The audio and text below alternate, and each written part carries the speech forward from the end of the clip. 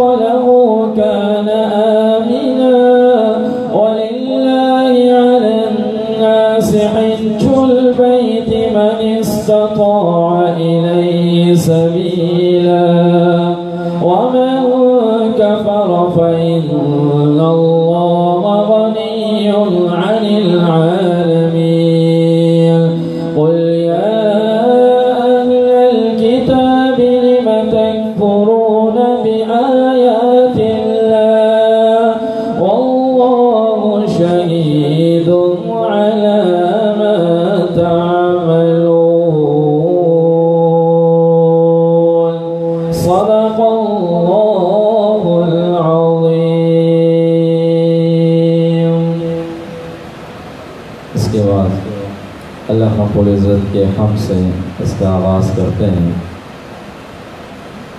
اور سید نفی شاہ الحسینی رحمہ اللہ ایک بہت بڑے بزرگ گزرے ہیں۔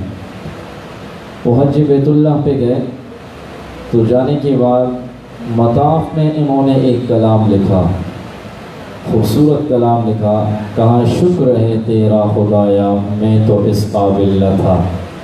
تو نے اپنے گھر بلایا، میں تو اس قابل نہ تھا۔ گرد کعبے کے پھرایا میں تو اس قابل نہ تھا، اپنا دیوانہ بنایا میں تو اس قابل نہ تھا۔ حقیقت یہ ہے کہ یہ بہت بڑی نعمت ہے۔ اس پر ہم اللہ کا جتنا شکر ادا کرے کم ہے۔ کہاں ہماری گناہ گار آنکھیں اور کہاں اللہ کے گھر کا دیدار؟ کہاں ہماری گناہ گار آنکھیں اور کہاں نبی علیہ السلام کے روزے کا دیدار؟ حقیقت یہ ہے کہ آنکھوں کی قیمت ادا ہو جاتی ہے ان کو دیکھ کر۔ تو یہ خوبصورت کلام ہے۔ شکر ہے تیرا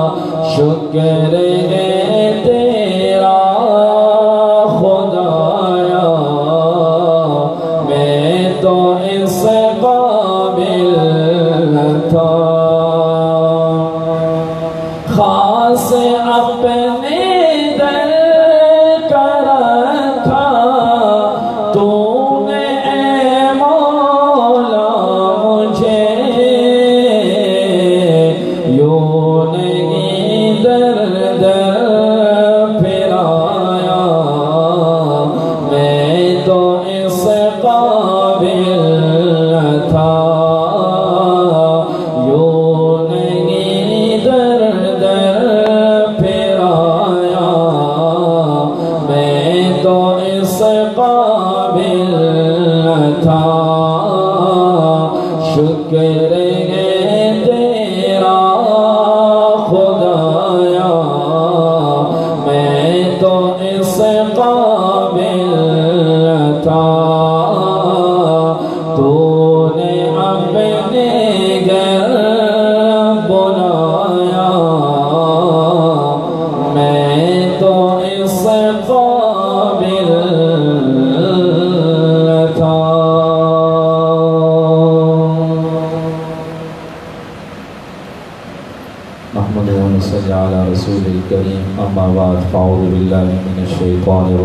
بسم الله الرحمن الرحيم قال الله تعالى في القرآن المجيد إن أول بيت وضع للناس للذي ببكة مباركا وهدى للعالمين فيه آيات بينات مقام إبراهيم ومن دخله كان آمنا ولله على الناس حج البيت من استطاع إليه سبيلا ومن كفر فإن الله غني عن العالمين وقال النبي صلى الله عليه وسلم الحج المبرور ليس له جزاء إلا الجنة. صدق الله العظيم. وصدق رسوله النبي الكريم. ونحن على ذلك لمن الشاهدين والشاكرين. والحمد لله رب العالمين. درود شریف پڑھنے تمام اللهم صل على محمد وعلى آل محمد كما صليت على إبراهيم وعلى آل إبراهيم إنك حميد مجيد. اللهم بارك على محمد وعلى آل محمد كما باركت على إبراهيم وعلى آل إبراهيم إنك حميد مجيد. انسان اللہ رب العزت کی تخلیق کا شہکار ہے۔ اللہ رب العزت نے اس انسان کو بہت ساری نعمتوں سے نوازا ہے۔ اگر یہ انسان اللہ کی نعمتوں کو شمار کرنا چاہیں اس کا احاطہ کرنا چاہیں، لا تحصوها۔ قرآن میں آتا ہے، وَإِن تَعُدُّوا نِعْمَةَ اللَّهِ لَا تُحْصُوهَا۔ اگر اللہ کی نعمتوں کو تم گننے لگ جاؤ، لا تحصوها، تم انہیں شمار نہیں کر سکتے۔ ہم اپنے اوپر غور کریں، اللہ نے سب سے پہلے ہمیں انسان بنایا۔ اگر ہمیں اللہ انسان نہ بناتے، یہ ہمارے اختیار میں نہ تھا۔ جانور بنا دیتے، یہ انسان کے اختیار میں نہ تھا۔ اس پر اللہ کا شکر ادا کریں۔ پھر اللہ نے انسان بنانے کے بعد ہمیں مسلمان بنایا۔ ہمیں ایسے گھرانے میں پیدا کیا کہ جس گھرانے کے اندر ہمارے آباء و اجداد پہلے سے مسلمان ہیں۔ جس گھرانے کے اندر نمازیں پڑھی جاتی ہیں۔ جس گھرانے کے اندر پیدا ہوتے ہی بچے کے کان میں اذان اور اقامت کہی جاتی ہیں۔ ہمیں ایسے گھرانے میں اللہ نے پیدا کیا۔ اس پر بھی اللہ کا شکر ادا کریں۔ پھر اللہ نے مسلمان ہونے کے بعد سب سے بڑا انعام اللہ کے نبی صلی اللہ علیہ وسلم کی امت میں ہمیں پیدا کیا کہ جس امت میں آنے کے لیے پچھلے انبیاء اور پچھلے نبیوں کی تمنائیں تھیں کہ کاش ہم اس امت کا حصہ بن جاتے ہیں، سوائے حضرت عیسیٰ علیہ السلام کے باقی نبیوں کو اس امت کا حصہ نہ بنایا گیا اور حضرت عیسیٰ علیہ السلام اس امت کے حصہ بنے، اللہ رب العزت سے دعا کی تو اللہ نے ہمیں نبی علیہ السلام کا امتی بنایا۔ پھر یہ انسان اپنے جسم پر ذرا غور کرے کہ اللہ نے اس انسان کو صحیح سالم پیدا کیا، صحیح سالم پیدا کیا۔ میں اور آپ اپنے جسم پر ذرا غور کریں، اگر اللہ ہمیں قوت گویائی نہ دیتا تو ہمارے اختیار میں نہ تھا۔ کتنے لوگ ہیں جنہیں قوت گویائی ان کے پاس نہیں ہے وہ بھی چاہتے ہیں کہ ہم اپنے والدین کے آواز والدین کی باتیں اپنے کانوں سے سنیں۔ وہ بھی چاہتے ہیں کہ ہم قرآن مجید کی تلاوت سنیں۔ وہ بھی چاہتے ہیں کہ ہم ایسے نیک اعمال اور نیک اذکار سنیں، لیکن ان کے اختیار میں نہیں۔ اس پر بھی ہم اللہ کا شکر ادا کریں۔ پھر اللہ نے ہمیں بالکل ٹھیک پیدا کیا۔ ہمارے ہاتھ پاؤں بالکل سالم ہیں، بالکل ٹھیک ہیں۔ اس پر اللہ کا شکر ادا کریں۔ اور پھر اس کے ساتھ ساتھ اللہ نے ہمیں خوبصورت آنکھیں عطا کی خوبصورت آنکھیں۔ کہ جن یہ آنکھوں کی قدر و قیمت ان سے پوچھیں، جن کے پاس آنکھیں نہیں ہیں۔ کسی اندھے سے پوچھیں، کسی نابینا سے پوچھیں، اس کی بھی تمنا ہے کہ میں اپنے والدین کو رحمت بری نظروں سے دیکھوں۔ اور مجھے حج عمرے کا ثواب مل جائے، یہ اس کی بھی تمنا ہے۔ اس کی بھی تمنا ہے کہ میں قرآن مجید کو دیکھوں۔ قرآن مجید کو دیکھنا بھی ثواب ہے اس کی بھی تمنا ہے۔ اس کی بھی تمنا ہے کہ میں اللہ کے گھر کی زیارت کروں۔ یہ اس کی بھی تمنا ہے۔ لیکن اللہ کا لاکھ لاکھ شکر ادا کرتے ہیں لَإِن شَكَرْتُمْ لَعَزِيدَنَّكُمْ قرآن کہتا ہے، اگر تم شکر ادا کرو گے تو اللہ فرماتا ہے لَأَزِيدَنَّكُمْ میں تمہاری نعمتوں کے اندر اضافہ کرتا رہوں گا، میں تمہاری نعمتیں اور زیادہ کرتا رہوں گا لَأَزِيدَنَّكُمْ اگر تم شکر ادا کرو گے۔ تو اللہ نے ہمیں آنکھیں دی اور ان آنکھوں کی نعمت سے انشاءاللہ ہم اللہ کے گھر کا دیدار کریں گے۔ اس پر اللہ کا شکر ادا کریں۔ اسی لیے کہا، شکر ہے تیرا خدایا، میں تو اس قابل نہ تھا۔ کہا، اللہ کا خوبصورت اور پاک گھر اور کہا، ہماری گناہگار آنکھیں۔ حقیقت میں ہماری آنکھیں اس قابل ہی نہیں کہ ہم اللہ کے گھر کا دیدار کریں، لیکن اللہ اپنے گھر میں بلا رہا ہے۔ اللہ کے مہمان بن کر ہم جا رہے ہیں۔ اس پر اللہ کا شکر ادا کریں۔ اور یاد رکھیے، جب بھی اس نعمت کا خیال آ جائے کہ ہم اللہ کے گھر کی زیارت کے لیے جا رہے ہیں، تو زبان سے یوں کہا کریں، اللہم لک الحمد ولک الشکر۔ اللہم لک الحمد ولک الشکر۔ ورنہ کتنے لوگوں کو ہم نے دیکھا ایئرپورٹ پہ اترے، اترنے کے بعد ایئرپورٹ سے ہی واپس آ گئے۔ بغیر اللہ کے گھر کی زیارت کے۔ مجھے ایک گروپ لیڈر نے کہا کہ ہمارے ساتھ ایک ڈاکٹر تھے اور ان کی اہلیہ تھی وہ آئے اور مکہ ٹاور کے اندر آ کر ٹہر گئے۔ تو ان کی اہلیہ نے کہا، مجھے گھٹن محسوس ہو رہی ہے اس رش کو دیکھ کر۔ اور اس نے بھی کہا آئے مکہ مکرمہ پہنچے، لیکن اللہ کے گھر کا دیدار نہ کیا اور ویسے ہی چلے گئے۔ تو یہ اللہ کی کتنی بغیر یعنی ایک بندہ وہاں تک پہنچ جائے اور یہ قبولیت نہ ہو، تو انسان کو خوف ہونا چاہیے اس بات پر۔ اس لیے جب اللہ کا شکر ادا کریں گے، تو اللہ اپنی نعمتوں کے اندر اضافہ کرتا رہے گا۔ تو پہلی بات جو ہے، وہ یہ ہے کہ ہم اللہ کا شکر ادا کرتے رہیں۔ جب بھی خیال آ جائے، اس نعمت پر اللہ کا شکر ادا کریں۔ حقیقت بات یہ ہے، یہ کوئی معمولی نعمت نہیں ہے۔ اللہ کے نبی صلی اللہ علیہ وسلم نے حاجی کے بارے میں فرمایا کہ کل قیامت کے دن حاجی چار سو گھرانوں کی شفاعت کرے گا۔ چار سو گھرانوں کی شفاعت کرے گا۔ اور ایک اور حدیث میں آتا ہے، نبی علیہ السلام نے فرمایا، کل قیامت کے دن ایک حاجی چار سو لوگوں کی شفاعت کرے گا۔ یہ کتنا بڑا مقام ہے حاجی کا۔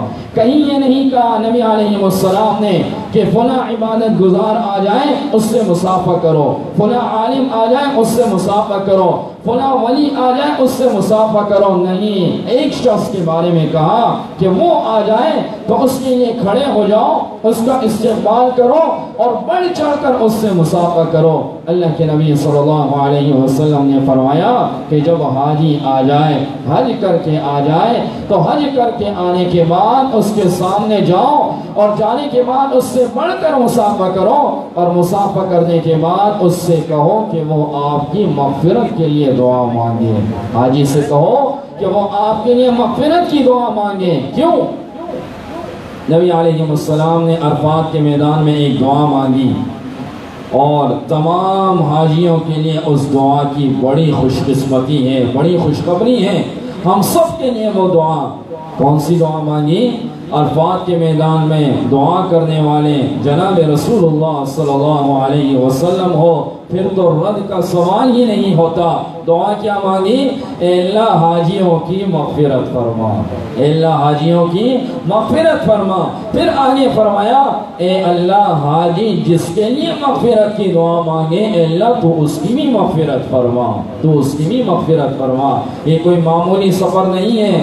ہم اس سفر کی قدر و قیمت کو یہاں سے پہچانیں، اپنی قیمت یہاں سے پہچانیں کہ میں حج کے لیے جا رہا ہوں اور حج کے سفر کا کیا مقام ہے اور حاجی کا کیا مقام ہے۔ رسول اللہ صلی اللہ علیہ وسلم نے فرمایا، من حج فلم يرفض ولم يفسق رجع كيوم ولدته امه جس نے حج کیا، اس میں گناہ کا کوئی کام نہ کیا۔ فسق کا کوئی کام نہ کیا، غلط باتیں نہ کی ساتھیوں سے لڑائی جھگڑا نہ کیا۔ اور وہ کہ حج کرنے کے بعد وہ ایسے لوٹتا ہے رجع کیوم ولدت ہو امو، جس طرح وہ آج ماں کے پیٹ سے پیدا ہوا ہے۔ کتنی بڑی خوش قسمتی ہے۔ بلکہ ایک حدیث میری نظر سے گزری۔ فرمایا کہ جو انسان حج کا خالی ارادہ کرتا ہے، ارادہ کرتا ہے حج کا تو فرمایا، اس ارادہ کرنے پر اللہ اس کے اگلے پچھلے گناہوں کو معاف کر دیتا ہے۔ یہ حاجی کا مقام ہے۔ کتنا بڑا مقام ہے۔ رسول اللہ صلی اللہ علیہ وسلم نے فرمایا، جو انسان حج کرنے کے بعد مر جائے، وہ شہید ہے۔ جو انسان حج کرنے کے بعد مر جائے، وہ شہید کہلاتا ہے۔ اس لیے ہم اپنی قدر و قیمت یہیں سے پہچانیں۔ اور پھر جب یہاں سے جاتے ہیں تو کتنے خوبصورت مقامات ہیں، کتنے خوبصورت اللہ رب العزت نے مقامات عطا کیے ہیں۔ اور ایک ایک عمل پر کتنی بڑی نیکیاں حدیث شریف میں آتا ہے عمر بن شعیب رضی اللہ تعالیٰ عنہ سے روایت ہے کہ رسول اللہ صلی اللہ علیہ وسلم نے فرمایا، جب کوئی حاجی طواف کرتا ہے تو طواف کرتے ہوئے وہ گویا کہ اللہ کی رحمت کے سمندر میں غوطہ لگاتا ہے اور اگر وہ ایک قدم اٹھاتا ہے، طواف کرتے وقت اور وہاں ایک قدم پر پانچ سو نیکیاں لکھی جاتی ہیں پانچ سو درجات بلند کیے جاتے ہیں اور ایک قدم پر پانچ سو گناہ اس حاجی کے مٹا دیے جاتے ہیں۔ یہ کتنا بڑا مقام ہے حاجی کا۔ اور پھر جب یہ طواف مکمل کرتا ہے مکمل کرنے کے بعد دو رکعت نفل طواف کے پڑھتا ہے، تو رسول اللہ صلی اللہ علیہ وسلم نے فرمایا، اس انسان کو بنی اسماعیل کے دس غلاموں کے آزاد کرنے کے برابر ثواب مل جاتا ہے۔ کتنا بڑا ثواب، یہ اللہ رب العزت اس حاجی کو عطا کر رہے ہیں۔ تو ہم یہیں سے اپنی قیمت کو جانیں۔ پہلے نمبر پر جب یہ خیال آئے کہ میں اللہ کے گھر کی زیارت کے لیے جا رہا ہوں، تو شکر کریں۔ اللہم لک الحمد و لک الشکر۔ اور ہو سکے تو دو رکعت صلاۃ الشکر روزانہ پڑھ لیا کریں۔ اور دوسرے نمبر پر حاجی اپنا مقام یہیں سے پہچانے حدیث میں آتا ہے، الحاج والعمر وفد اللہ حج کرنے والا، عمرہ کرنے والا اللہ کے وفد ہیں، اللہ کے مہمان ہیں، ان دعاؤں اجابہم۔ اگر یہ دعا کرتے ہیں، اللہ ان کی دعاؤں کو قبول کرتا ہے۔ وَإِنِ اسْتَغْفَرُوهُ غُفِرَ لَهُمْ۔ اور اگر یہ اللہ سے مغفرت مانگتے ہیں غفر لهم۔ اللہ ان کی مغفرت کر دیتا ہے۔ یہ حاجی کا اللہ کے ہاں اتنا بڑا مقام ہے۔ ہمارے اکابرین حج کیا کرتے تھے۔ تو بڑے تڑپ اور شوق کے ساتھ حج کیا کرتے تھے۔ ابراہیم بن ادھم رحمہ اللہ کے بارے میں آتا ہے کہ انہوں نے حج کا ارادہ کیا۔ تو ارادہ کرنے کے بعد انہوں نے کہا، ایک قدم اٹھاؤں گا، پھر دو رکعت نفل پڑھوں گا، پھر ایک قدم اٹھاؤں گا، پھر دو رکعت نفل پڑھوں گا اور اسی حالت میں میں مکہ مکرمہ پہنچوں گا۔ ڈھائی سال میں وہ پہنچے، ڈھائی سال میں۔ ڈھائی سال میں پہنچے اس تڑپ اور اس جذبے کے ساتھ اللہ کے گھر کی زیارت کے لیے آج میں اور آپ چار گھنٹے میں پہنچ جاتے ہیں۔ سوچیے وہ کتنا شوق رکھتے ہوں گے حج کا اور کتنے جذبے سے حج کیا کرتے مولانا حسین احمد مدینی رحمہ اللہ کے بارے میں آتا ہے کہ جب زرجہ کے ایام شروع ہوا کرتے تھے تو حضرت کھانا نہیں کھایا کرتے تھے اور جب کھانا سامنے آتا تو فوراً نوالا لینے کے بعد رکھ دیتے تھے کہ وہ کہا کرتے تھے۔ اور شاپ اس وقت کتنے خوش نصیب ہیں۔ جو ایسے مقام پر کھڑے ہوں گے، دعائیں کر رہے ہوں گے اور میں یہاں پر ہوں۔ یہ تڑپ اور شوق تھا اللہ نے ان کو بلا لیا۔ اور سترہ سال مکہ میں مسجد نبوی میں انہوں نے درس دیا۔ اور رسول اللہ صلی اللہ علیہ وسلم کا درس میں سال دیا۔ تو جتنا ہی اور جتنا شوق ہم اپنے دل میں رکھیں گے، اتنا ہی بار بار اللہ ہمیں زیادت نصیب فرمائیں گے۔ وہ فارسی کے شاعر نے کہا، مکہ بین از توحید نور و اسرم از حبیب کا جلال نظر آتا ہے۔ وَيَسْرَبْ أَزْحَيْمُ اللَّهِ ظَهُورًا کا جمال نظر آتا ہے۔ درید و شہر ایمارا نویدے چنی دیگر دے دنیا رسیدے ایمان سے اگر تو نے ان دونوں شہروں کا نظارہ نہیں کیا، تو وہ شاعر کہتا ہے، اس دنیا کے اندر آ کر پھر تو نے دیکھا ہی کیا ہے۔ اس دنیا کے اندر آ کر پھر تو نے دیکھا ہی کیا ہے۔ تو اللہ ہمیں ایسے مقام پر لے جا رہا ہے کہ جس مقام کے لیے ہم سالوں سے دعائیں مانگا کرتے تھے کہ اے رب ہمیں حج حج کی سفر پہ ہمارا نام لکھوا دیں اور ہمیں اپنے گھر کی زیارت نصیب فرما۔ نبی علیہ السلام کے روز اقدس کی زیارت نصیب فرما۔ تو اللہ ایسے سفر پہ ہمیں لے جا رہا ہے تو انسان اپنی قدر و قیمت کو بھی پہچانے۔ اور یاد رکھیے، ایک آدمی سائیکل سے گرے تو سائیکل سے گرنے والے کو اتنی چوٹ نہیں لگتی۔ اگر ایک آدمی موٹر سائیکل سے گرے، اسے تھوڑی زیادہ چھوٹ آئے گی، اور ایک آدمی گاڑی سے گرے، اسے اس سے زیادہ آئے گی، اور اگر ایک آدمی جہاز سے گرے، تو اسے تو آئے گی کتنی؟ کہ اس کی لاش ملنے مشکل ہو جائے گی۔ تو اسی طرح جو انسان یہاں سے جا رہا ہے اگر وہاں جا کر اس نے وہ گناہ کیے جو یہاں کر رہا ہے، تو یاد رکھیے دونوں میں بہت فرق ہے۔ دونوں میں کیا ہے؟ بہت فرق ہے۔ چھوٹ یہاں بھی آنی ہے، لیکن وہاں کی نیکی اگر ایک لاکھ ہے، تو وہاں کا گناہ بھی اسی طرح ہے۔ اگر نیکی ایک لاکھ مل رہی ہے، تو گناہ بھی اسی طرح ہے۔ اسی لیے میں حاجیوں کو یہ کہتا ہوں کہ جب بھی کوئی عمل اگر تمہیں معلوم نہیں ہے، تو وہ پوچھ کر عمل کریں۔ کہ بھئی یہ کام مجھے معلوم نہیں ہے یہ مسئلہ بتا دیں میں بھی ساتھ ہوں گا انشاءاللہ۔ آپ پوچھیں کہ میں یہ مسئلہ بتائیں، مجھے یہ مسئلہ بتائیں، پوچھ کر عمل کریں۔ بس اوقات حاجیوں پر دم آ جاتے ہیں اور وہ ان کو علم ہی نہیں ہوتا اور پھر اس کے بعد بعد میں پوچھتے ہیں اور انہیں علم نہیں ہوتا اور وہ عمل کر جاتے ہیں۔ اسی لیے جو عمل یہاں ہونا ہے، اس کا اتنا نقصان نہیں، لیکن وہاں پر جو عمل ہوتا ہے، اس کا زیادہ نقصان ہے۔ اور بسا اوقات کسی ایسے عمل کی وجہ سے اونٹ کی قربانی بھی لازم ہو جاتی ہے، اونٹ کی قربانی۔ یہ بھی ذہن میں رکھیں۔ اسی طرح جب ہم یہاں سے جا رہے ہیں تو کچھ ضروری باتیں ہیں۔ ان باتوں پر اگر ہم عمل کریں گے تو انشاءاللہ ہم سب کے لیے یہ باتیں مفید ہوں گی۔ اگر کوئی لکھ سکتا ہے تو یہ باتیں لکھیں۔ بڑی اہم باتیں ہیں۔ یہاں سے جاتے وقت سب سے پہلے تو ہم اپنے اندر اخلاص کا جذبہ پیدا کریں۔ اخلاص۔ قرآن میں آتا ہے، وَلِلَّهِ عَلَى النَّاسِ حِجُّ الْبَيْتِ مَنِ اسْتَطَاعَ إِلَيْهِ سَبِيلًا وَلِلَّهِ کہا، اللہ کے لیے حج کرو، اللہ کے لیے وَلِلَّهِ، اللہ کے لیے۔ ہر ایک کو نہ بتلاؤ کہ میں فلاں سال حج پہ گیا ہوا تھا، یا ہر ایک کے سامنے نام و نمود نہ ہو، ریاکاری نہ ہو، اخلاص۔ اللہ کی رضا کے لیے ہم نے حج کرنا ہے اور اللہ ہی سے ہم نے اس کا بدلہ لینا ہے۔ دنیا میں یہ نہ دکھاؤ کہ میں حاجی ہوں۔ دنیا والوں کو نہ دکھائیں۔ وللہ، اخلاص کا جذبہ۔ حدیث شریف میں آتا ہے رسول اللہ صلی اللہ علیہ وسلم نے فرمایا اخلص دینک یکفک عمل قلیل۔ اے لوگوں، اپنے اندر اخلاص لے آؤ، تھوڑا عمل بھی تمہارے لیے بہت ہو جائے گا۔ زبیرہ ایک خاتون تھی، اس خاتون کا انتقال ہوا۔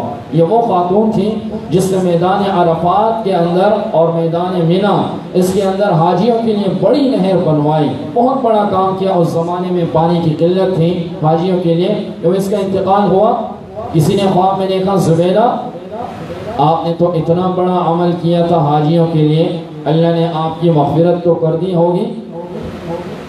زبیدہ نے کہا، اللہ نے میری مغفرت کی، لیکن اس عمل کی وجہ سے نہیں کی۔ کہنے لگے، کیسے؟ وہ کہنے لگی بات یہ ہے کہ جب اللہ کے ہاں میری پیشی ہوئی، تو میرا ایک عمل لایا گیا۔ بظاہر وہ میرا عمل میرے ذہن میں، میرے وہم گمان میں بھی نہ تھا۔ کہا کون سا عمل تھا؟ ایک دن میں کھانا کھا رہی تھی کھانا کھاتے ہوئے میں نے نوالا پلیٹ میں رکھ ڈالا اور اپنے منہ میں ڈالنے لگی۔ آدھا نوالا میرے منہ میں تھا اور آدھا باہیں تھا۔ میرے سر میں دوپٹہ نہیں تھا۔ اتنے میں موزن کی صدا۔ اللہ اکبر اللہ اکبر اللہ اکبر اللہ اکبر۔ یہ صدا آئی۔ کہا، وہ نوالا منہ سے میں نے اٹھایا اور نیچے رکھا۔ دوپٹہ سر میں رکھا۔ کہا، اللہ نے کہا اے زبیدہ اس عمل کی وجہ سے ہم نے تمہاری مغفرت کر دی۔ اخلاص، یہ اخلاص تھا۔ جس جس کے اندر اخلاص ہوگا، وہ عمل اللہ کیا قبول ہوتا ہے۔ حسن بصری رحمہ اللہ فرماتے ہیں کہ بسا اوقات بعض لوگ خلاف کعبہ پکڑ کر دعائیں مانگ رہے ہوتے ہیں اور حقیقت میں وہ اپنے اپنے اطراف کے جو لوگ ان کے ساتھ آئے ہوئے ہوتے ہیں، ان کو دکھا رہے ہوتے ہیں کہ دیکھو میں کتنا بڑا نیک ہوں اور کتنا بڑا نیک ہوں کہ میں خلاف کعبہ پکڑ کر دعائیں مانگ رہا ہوں۔ حقیقت میں ان کے دلوں میں ریاکاری ہوتی ہے، اخلاص نہیں ہوتا۔ علی شریف میں آتا ہے۔ رسول اللہ صلی اللہ علیہ وسلم نے فرمایا، جو انسان ریاکاری کے لیے عمل کرتا ہے، اللہ فرشتوں سے فرماتا ہے کہ میرا یہ بندہ میرے ساتھ مذاق کر رہا ہے۔ میرا یہ بندہ میرے ساتھ مذاق کر رہا ہے۔ اس لیے یہیں سے ہم اپنے اندر اخلاص میں آئے۔ العاملون كلهم هالكون الا المخلصون. تمام کے تمام عمل کرنے والے فرمائے کہ وہ ہلاک ہونے والے ہیں الا المخلصون، مگر اخلاص پیدا کرنے والے وہ لوگ بچ جائیں گے۔ باقی تمام کے تمام لوگ ہلاک ہونے والے ہیں۔ تو پہلا عمل جو ہے، وہ اپنے اندر لانا ہے، وہ ہے اخلاص۔ دوسرا عمل، کہ ہم اپنے معاملات کو سمیٹیں۔ معاملات کو سمیٹیں۔ حقوق العباد کا خیال رکھیں۔ آپ کسی فیکٹری کے مالک ہیں، آپ جا رہے ہیں اور ملازمین کی تنخواہ نہیں دی اور حضرت حج پہ جا رہے ہیں۔ یاد رکھیے، ایسے حج کا کوئی فائدہ نہیں جس کے اندر حقوق العباد کا خیال نہ رکھا گیا ہو۔ اپنے حقوق العباد کو آپ ان کی تنخواہیں ان کے حقوق پہلے سے ادا کریں اور اس کے علاوہ اگر آپ کی کسی سے رنجش ہے کسی سے ناراضگی ہے رشتہ داروں میں ناراضگی ہے پڑوسیوں میں ناراضگی ہے ان سے کہیں آسان حل یہ ہے ان کے پاس کوئی پیغام بھیجیں یا لکھ کر تحریر بھیجیں اور اس کے اندر یہ بات کہیں کہ بھائی میری اور آپ کے درمیان جو رنجشیں چل رہی ہیں، میں اس میں نہیں پڑھنا چاہتا کہ آپ سچے ہیں یا میں سچا ہوں۔ میں ایک مقدس سفر پہ جانا چاہ رہا ہوں۔ میں آپ سے معافی مانگتا ہوں۔ اللہ کے لیے مجھے معاف کر دیجیے۔ میں آپ کے لیے وہاں پر دعا گو ہوں گا۔ یہ عمل کرنا ضروری ہے۔ اکثر خاندانوں میں یہ لڑائیاں ہوتی ہیں۔ بھائی بھائی سے ناراض ہیں۔ رشتہ داروں سے ناراضگیاں ہیں کہ جی وہ نہیں آ رہے، میں کیوں چلا جاؤں؟ وہ نہیں آ رہے، میں کیوں چلا جاؤں؟ رسول اللہ صلی اللہ علیہ وسلم نے فرمایا سل من قطع وعف عمن ظلمت واحسن الى من اساء الی اے لوگوں جو تجھ سے توڑے تو اس سے جوڑ، جو تجھ سے توڑے تو اس سے جوڑ۔ وعف عمن ظلمت جو تجھ پر ظلم کرے تو اسے معاف کر۔ واحسن الى من اساء الی اور جو تیرے ساتھ برائی کرے تو اس کے ساتھ اچھائی کر سلا رحمی کرنا۔ تو ہم جانے سے پہلے جو جو ناراض ہیں، ان کو خوش کر کے جائیں۔ ان کو ناراض نہ کریں۔ رسول اللہ صلی اللہ علیہ وسلم کی اس حدیث کے مطابق ناراض نہ کریں۔ اور میں نہیں سلواسل بالمکافی یہ صلہ رحمی نہیں ہے کہ وہ کریں گے تو آپ کریں گے۔ یہ صلہ رحمی نہیں ہے۔ صلہ رحمی یہ ہے کہ آپ پہل کریں صلہ رحمی کے اندر۔ آپ پہل کریں گے تو آپ صلہ رحمی کرنے والے ہوں گے۔ ان کے پہل کا انتظار نہ کریں۔ آپ خود پہل کریں صلہ رحمی کے اندر۔ اور قرآن میں بھی آتا ہے وَتُقَتِّعُوا أَرْحَامَكُمْ أُولَئِكَ الَّذِينَ لَعَنَهُمُ اللَّهِ جو لوگ اپنی رشتہ داریاں توڑتے ہیں، قرآن کہتا ہے أُولَئِكَ الذین لَعَنَهُمُ اللہ، یہ وہ لوگ ہیں جن پر اللہ کی لعنتیں برستی ہیں۔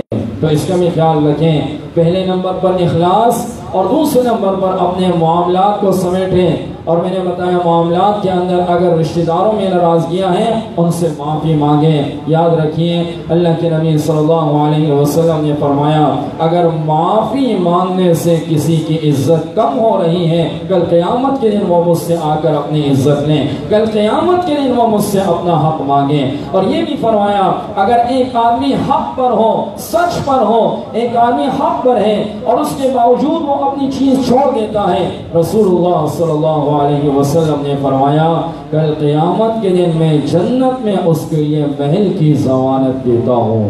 جو آدمی حق پہ ہونے کے باوجود اپنی چیز چھوڑ دے، کل قیامت کے دن جنت میں میں محل زمانے کی، محل دینے کی ضمانت دیتا ہوں۔ تو حج کے سفر پہ جا رہے ہیں۔ اور حج کے سفر پہ جانے سے پہلے رشتہ داروں میں ناراضگیاں ہو یا کوئی ہم سے ناراض ہو، تو یہ کیسا سفر ہوگا؟ جس سفر کے اندر جب سارے گناہوں کی معافی ہو رہی ہیں اور کسی مسلمان کے دل میں ہماری یقینہ ہو، اللہ کے نبی صلی اللہ علیہ وسلم تشریف فرماتے، ایک صحابی آ رہے تھے۔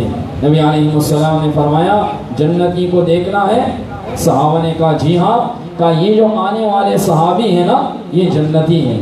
یہ آنے والے صحابی ہیں، یہ جنتی ہیں۔ صحابہ نیک اعمال میں بڑھ چڑھ کے حصہ لیتے تھے۔ ایک صحابی نے جب یہ سنا، تو مجلس ختم ہوئی۔ اس صحابی کے پاس گئے اور جانے کے بعد کہا کہ میں آپ کا مہمان بننا چاہتا ہوں، میں آپ کا مہمان بننا چاہتا ہوں۔ یہ مہمان بننے کے لیے تشریف لے گئے، تین دن گھر میں ٹھہرے اور یہ ان کے اعمال دیکھتے رہے کہ کس عمل کی وجہ سے ان کو جنتی کہا ہے۔ یہ رو رات بھر ان کو دیکھتے رہے، لیکن یہ حیران ہوئے کہ جو عمل میں کر رہا ہوں، وہی عمل یہ کر رہے ہیں، آخر کس عمل کی وجہ سے انہیں جنتی کہا ہے؟ جب تیسرا دن ختم ہوا جانے لگے، اس صحابی سے کہا کہ میں تو اس نیت سے آیا تھا کہ آپ کا کوئی عمل دیکھوں گا، جس عمل کی وجہ سے آپ کو جنتی کہا ہے، لیکن مجھے تو کوئی عمل نظر نہیں آیا۔ اس صحابی نے کیا جواب دیا؟ بڑے غور سے سننے کی بات ہے۔ اس صحابی نے کہا، بظاہر میرے اعمال وہی ہیں جو آپ کے ہیں۔ میرا اور کوئی عمل نہیں ہے۔ ایک عمل ہے میرا کہ جب میں رات کو سوتا ہوں، تو سونے سے پہلے اپنے دل کو تمام لوگوں کے لیے صاف کر کے سوتا ہوں۔ اپنے دل میں کسی کا کینہ نہیں رکھتا۔ میرا دل صاف ہوتا ہے۔ اس صحابی نے کہا، اسی عمل کی وجہ سے نبی علیہ السلام نے تجھے جنتی کہا ہے۔ تو پہلا عمل اخلاص اور دوسرا عمل اپنے معاملات کو سمیٹیں اور تیسرا اہم عمل اپنی نمازوں کی درستگی کا یہیں سے انتظام کریں۔ اپنی نمازیں یہیں سے ٹھیک کر لیں۔ آپ کے قریب مسجد ہو مسجد کے امام کے پاس جائیں، اپنی نمازیں یہیں سے ٹھیک کر لیں۔ پہلی دفعہ اللہ نے موقع دیا بیت اللہ کے سامنے نماز پڑھ رہے ہیں اور نمازوں کے اندر غلطیاں ہو پہلی دفعہ یہ موقع ملا ہے۔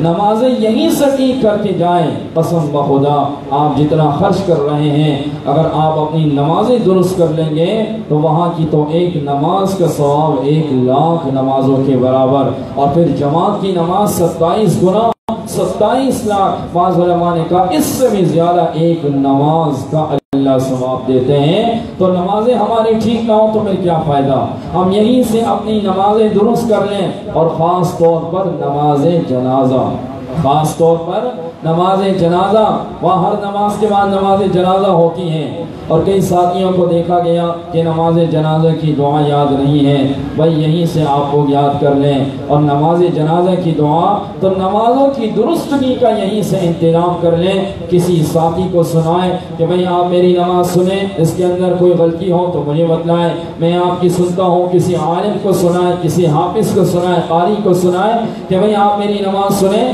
اس کے اندر کبھی کوتاہی ہو تو مجھے بتلا دیجیے۔ اور اس کے ساتھ ساتھ نمازوں کی درستگی کے ساتھ ساتھ قرآن مجید کی آخری دس صورتوں کو یاد کرنے کا اہتمام۔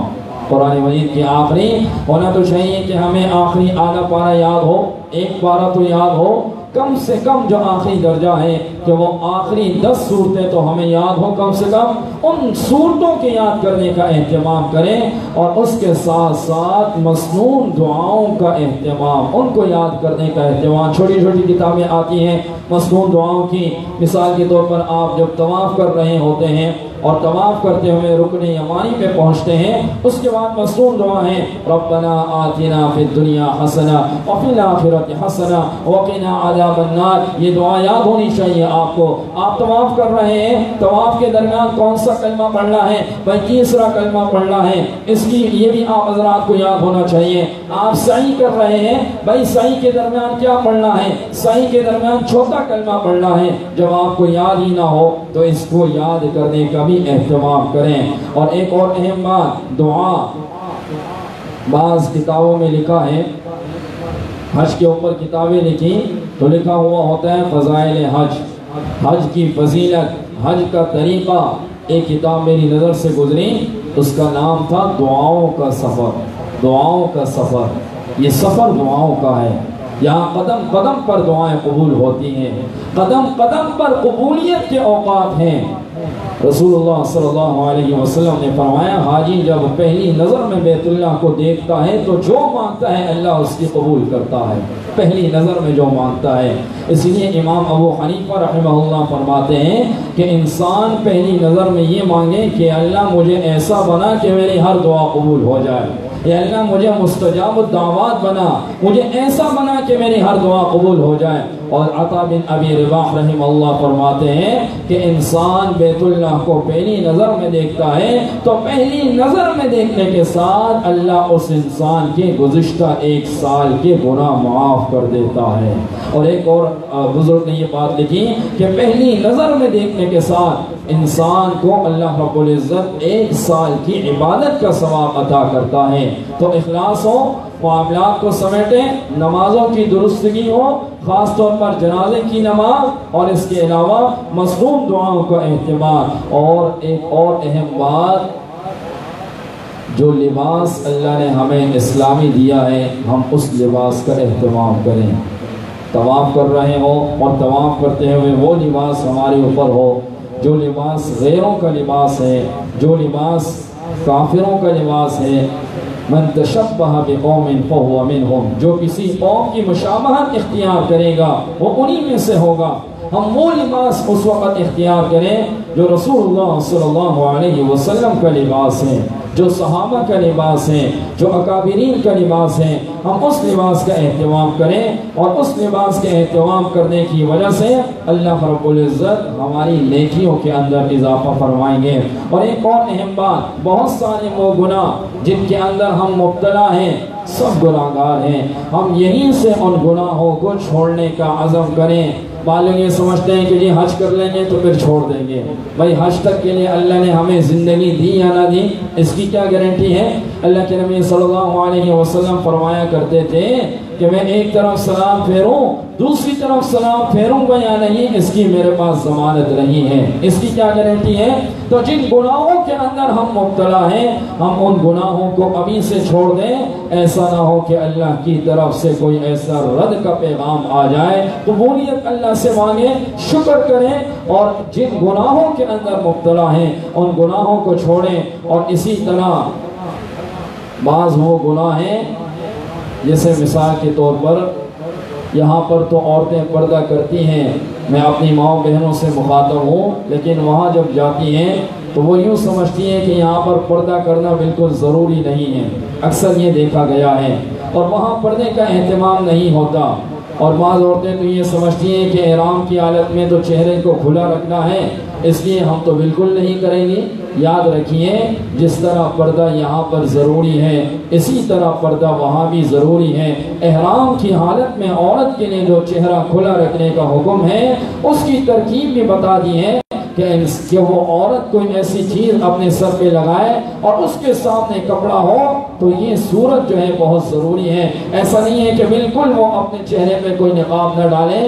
کیپ وغیرہ کی شکل آج آتی ہے۔ وہ کیپ عورت پہنے گی۔ تو لہٰذا جس طرح یہاں پر پردہ کرنا ہے، اسی طرح وہاں پر پردہ کرنا ہے۔ اور ایک اور اہم بات اکثر یہ دیکھا گیا ہے کہ حاجی یہاں سے جاتے ہیں۔ تو ذوق اور شوق شروع کے دنوں میں بہت زیادہ ہوتا ہے، لیکن جب چند دن گزر جاتے ہیں، آہستہ آہستہ ان کا شوق ختم ہو جاتا ہے۔ بھائی ایسا نہ ہو۔ ہمارا ذوق اور ہمارا شوق آخر تک رہیں۔ جب تک ہم ہیں، اللہ ہمیں بیس دن مکہ مکرمہ میں بیس دن ہم وہاں گزاریں گے۔ ان بیس دنوں کے اندر ہمارا شوق ہو۔ ہم طواف کریں۔ طواف ایسی عبادت ہے جو وہاں کے علاوہ کہیں نہیں ہو سکتی۔ اور یاد رکھیے، ان احسن تم احسن تم جو بھی نیکی کرو اپنے لیے کرو گے، ہمارا اس میں فائدہ ہے۔ یہ مت سوچیں کہ ہم طواف نہیں کریں گے۔ تو طواف کون کرے گا؟ امام مالک رحمہ اللہ کے بارے میں آتا ہے۔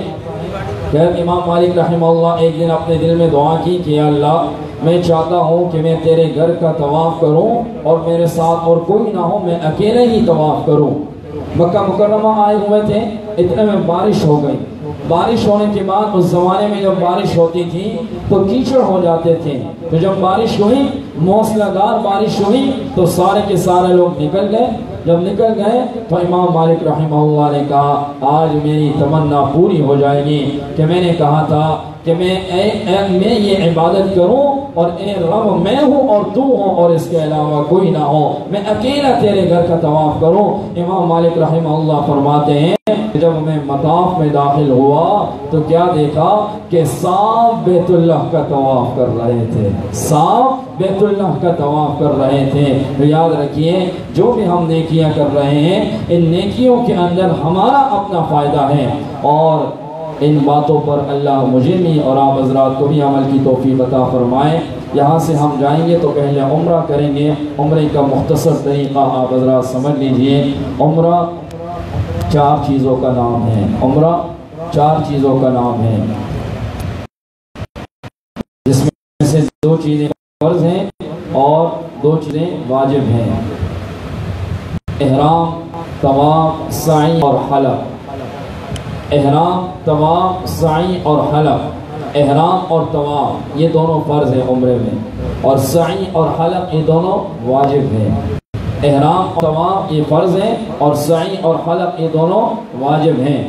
چار چیزیں ہیں عمرے کے اندر۔ احرام طواف سعی اور حلق۔ اب ان چیزوں کو کھول دیا جائے۔ احرام کے اندر تین چیزیں ہیں۔ پہلے نمبر پہ دو چادریں، دوسرے نمبر پہ نیت۔ اور تیسرے نمبر پہ تلبیہ۔ دو چادریں انسان پہن لیتا ہے، یہ احرام ہے۔ اور پھر اس کے بعد نیت کر لیتا ہے، اپنی زبان سے، دل سے بھی کہہ دیں، زبان سے بھی کہہ دیں، اے اللہ میں عمرے کا احرام مان رہا ہوں، اس کو قبول فرما اور میرے لیے آسان فرما۔ اور پھر اس کے بعد تین دفعہ تلمیہ پڑھ لیتا ہے، لبیک اللہم لبیک لبیک لا شریک لک، لبیک ان الحمد والنعمت لک والملک لا شریک لک۔ یہ تین دفعہ پڑھنے کی وجہ سے آپ محرم بن جاتے ہیں۔ کیا بن جاتے ہیں؟ محرم۔ اور محرم بننے کے بعد آپ پر کچھ پابندیاں لاگو ہوتی ہیں۔ مثال کے طور پر آپ پہ بڑی پابندی لاگو ہوتی ہیں، آپ سلا ہوا کپڑا نہیں پہن سکتے ہیں، آپ اپنے سر کو ڈھانک نہیں سکتے ہیں، سر کو کھلا چھوڑیں گے آپ ایسے چپل پہنیں گے جس کے اندر آپ کا جو ٹخنا ہے، یہ ٹخنا، یہ جو درمیان کی ہڈی ہے، یہ ہڈی نظر آنی چاہیے۔ آپ خوشبو نہیں لگا سکتے، آپ ناخن نہیں کاٹ سکتے۔ یہ تمام کی تمام پابندیاں احرام میں آتی ہیں۔ اور یہ بھی ذہن میں رہے کہ نیت جہاز میں بیٹھنے کے بعد ہو تو بہتر ہے۔ نیت احرام تو آپ پہن لیں گھر سے ہی، لیکن نیت جو آپ کریں، وہ جہاز میں بیٹھنے کے بعد کریں۔ جب جہاز میں بیٹھ جائیں اس کے بعد آپ دل میں کہیں، یا اللہ میں عمرے کا احرام میں نے باندھا ہے، میں نیت کر رہا ہوں عمرے کی، اس کو میرے لیے آسان فرما اور قبول فرما۔ اور پھر تین دفعہ تنبیہ پڑھیں گے، تو یہ آپ کا احرام ہو جائے گا۔ تو پہلے نمبر پہ عمرے میں احرام، اور دوسرے نمبر پر ہے طواف دوسرے نمبر پہ کیا ہے؟ طواف یہ دوسرا فرض عمرے کا۔ طواف سے پہلے کچھ کام ہے طواف کے درمیان کچھ کام ہے اور طواف کے بعد کچھ کام ہے طواف سے پہلے کے کاموں میں سے پہلا کام ہے نیت کرنا۔ طواف کی نیت کی، دل میں ہی نیت کی کہ میں عمرے کا طواف کر رہا ہوں، یہ کافی ہے۔ اور دوسرے نمبر پر جو مرد حضرات ہیں وہ استباع کریں گے۔ استباع۔ استباع کا مطلب اپنے جو دائیں کھندہ ہے، اس کو کھلا رکھیں گے اور چادر یہاں پر لے آئیں گے۔ یہ استوا صرف طواف میں ہوتا ہے، سات چکروں میں ہوتا ہے۔ اور تیسرے نمبر پر جب طواف کے لیے آپ آئے تو آپ حجر اسود کا استقبال کریں گے۔ استقبال۔ استقبال کا مطلب کیا ہے؟ حجر اسود کے مقابل آ جائیں اور مقابل آنے کے بعد کہیں، ہاتھوں کو، کانوں تک اٹھائیں اور اٹھانے کے بعد کہیں، بسم اللہ اللہ اکبر، وللہ الحمد اور چھوڑ دیں یہ استقبال ہے۔ اور چھوٹے نمبر پر آپ استلام کریں گے۔ استلام بسم اللہ اللہ اکبر وللہ الحمد۔ اور ان ہتھیلیوں کو آپ چھومیں گے تو یہ آپ کا استلام ہو جائے گا۔ یہ طواف سے پہلے کے چار کام ہیں۔ اب طواف آپ کا شروع ہو جائے گا۔ اب طواف جب شروع ہو گیا تو طواف کے درمیان کچھ کام ہیں۔ پہلا کام یہ ہے طواف کے شروع کے تین چکروں میں رمل کرنا ہے۔ رمل۔ رمل کا مطلب ہوتا ہے پہلوانوں کی طرح چلنا۔ بعض لوگ دوڑتے ہیں، دوڑنے کی وجہ سے تکلیف ہوتی ہے حاجیوں کو لہٰذا نہ دوڑا جائے۔ اور اگر رش ہو تو رمل کو چھوڑ دیا جائے۔ رمل ضروری نہیں ہے، اگر رش ہو تو اسے چھوڑ بھی سکتے ہیں۔ تو یہ رمل ہے اور رمل کرنے کے بعد آپ تمام میں تیسرا کلمہ پڑھیں اور تیسرا کلمہ پڑھنے کے بعد بھی حجر اسود پہ آئے، تو حجر اسود میں آنے کے بعد وہی استلام، بسم اللہ اللہ اکبر، وللہ الحمد۔ طواف کے بعد کے کچھ کام ہیں، جب طواف مکمل ہو جائے، تو آپ مکمل ہونے کے بعد دو رکعت نفل پڑھیں گے۔ دو رکعت نفل پڑھیں گے، لیکن یہ یاد رکھیے کہ میں لکھا ہے پر یا اس کے آس پاس علماء نے یہ کہا ہے اور وہاں پر چونکہ روشنی مقام میں، اگر آپ مقام ابراہیم صاحب پڑھیں گے تو لوگوں نے حرام ہے ابراہیم سیٹ میں پیچھے جا کر کہیں بھی پڑھ سکتے ہیں، پوری مسجد میں پڑھ سکتے ہیں، بلکہ علماء نے لکھا ہے، اپنے کمرے میں بھی پڑھ سکتے ہیں اجازت ہے۔ مسجد میں پڑھنے اور منافع نہیں ہوتا منافع کے علاوہ جو ہوتا ہے خوب سیر ہو کر پیتا ہے۔ یہ قبولیت کا وقت ہے، اس وقت میں آپ ضرور پیتے وقت دعا مانگے اور اس کے بعد آپ نے نوہ استلام کرنا ہے، حج اسود کا۔ یہ استلام بھی مستحب ہے۔ نوہ استلام کریں اور استلام کرنے بعد اب تیسرا عمل ہے سعی۔ سعی کی طرف آئیں گے اور سعی کی طرف آنے کے بعد آپ صفا پہ آئیں گے، نیت کریں گے، رب میں اللہ کی رضا کے لیے سعی کر رہا ہوں۔ اور اس کے بعد دعا مانگے اور دعا مانگنے کے بعد سعی شروع کر لیں اور سعی کے درمیان چھوٹا کلمہ پڑھیں اور جو درمیان میں میلین افزرین ہیں، اس کے درمیان علماء نے لکھا اپنی مغفرت کی دعا مانگیں۔ یہ بھی قبولیت کا وقت ہے۔ صفا کے شروع میں بھی دعا قبول ہوتی ہے۔ اور جب مروہ پہ آپ جائیں گے، مروہ پہ جانے کے بعد بھی آپ دعا مانگیں، یہ بھی قبولیت کا وقت ہے۔ یہ سات چکر سعی کے ہوں گے۔ امام غزالی رحمہ اللہ فرمایا کرتے تھے، جو انسان سعی کرتا ہے تو سعی کرنے کے بعد اس کے نام اعمال میں ستر غلاموں کو آزاد کرنے کا ثواب لکھ دیا جاتا ہے۔ یہ ہر ہر عمل اللہ کی قیمتی ہے اور پھر اس کے بعد چھوٹا عمل دے جاتا ہے، وہ ہے حلق کرنا حلق کرنا۔ قصر بھی کر سکتے ہیں، لیکن حلق کرنا یہ افضل ہے۔ نبی علیہ السلام نے تین دفعہ رحمت کی دعا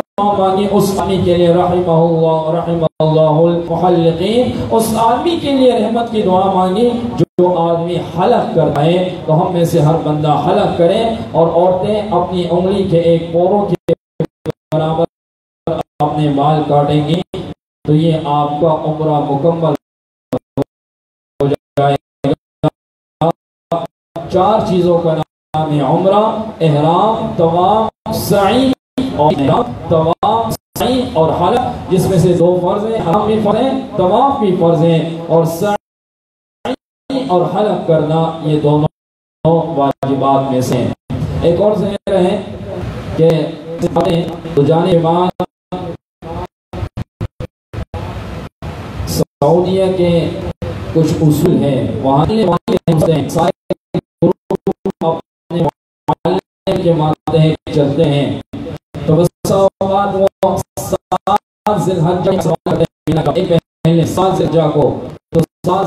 اگر وہ روانہ تو جیسے ہی ان کے قائم ہوں گے، ان میں سے ہر بندہ اس قوم اور قانون کے مطابق چلے گا۔ یہ آج کل حالات ہیں، تو مدینہ منورہ کے اندر بسا اوقات پچھلے سال ہم نے تو پانچ دن ہم نے نمازیں پڑھی۔ چالیس نمازیں نہیں ہوئی پانچ دن کے بعد ہمیں واپس بھیج دیا گیا۔ اور صرف آپ اور میں نہیں، لاکھوں لوگ ہوتے ہیں، وہ بسا اوقات ان کے قوانین ہوتے ہیں، وہ اچانک روانہ کر دے رہے ہیں یہ ذہن رہے کہ مدینہ منورہ کے اندر بسا اوقات چالیس نمازیں نہیں ہوتی اور بسا اوقات دس دن بھی ہو جاتے ہیں، ایسا بھی ہوتا ہے۔ تو ان کے قوانین کے مطابق چلنا ہوتا ہے۔ اور یہ بھی ذہن میں رہے کہ جو چالیس نمازیں ہیں یہ فرض واجب نہیں ہے، یہ فرض واجب نہیں ہے۔ بعض لوگ اس کو سمجھتے ہیں کہ یہ چالیس نمازیں نہیں ہوئی تو ہمارا حج نہیں ہوگا۔ اس حج پر بھی کوئی اثر نہیں پڑتا اور نہ یہ فرض ہے نہ واجب ہے۔ جو وہاں کے قوانین ہیں، اس قوانین کے مطابق سب نے چلنا ہوتا ہے۔ اور ایک اور اہم بات نہیں برابر پڑھتے ہیں، تو روانہ کے بعد اس قافلے کا ایک کرتے تھے کہ یہ امیر ہیں اور فرمایا کہ امیر کی اطاعت اللہ کا جو بھی ہوگا ہم سے ہم اس کا ساتھ تعاون ہے کے ساتھ ان کے جو بھی اعمال ہوں ان پر عمل کریں اللہ کا بول عزت سے دعا ہے کہ اللہ العزت ہمیں ان باتوں پر عمل توفیق عطا فرمائے اور حج بیت اللہ